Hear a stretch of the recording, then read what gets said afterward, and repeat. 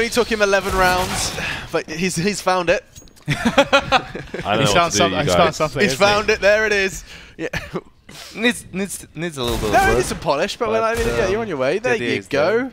Okay, That's Necro. the goblin.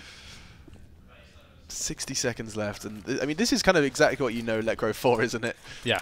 Just these silly, silly, incre- impeccable kills. aim. Yeah, exit frags.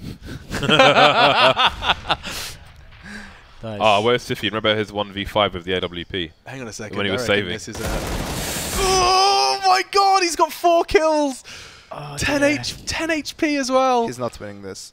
Don't say these things. calling it. 35 seconds. It's not no impossible. way. Oh! Ah! Juicy. Very juicy.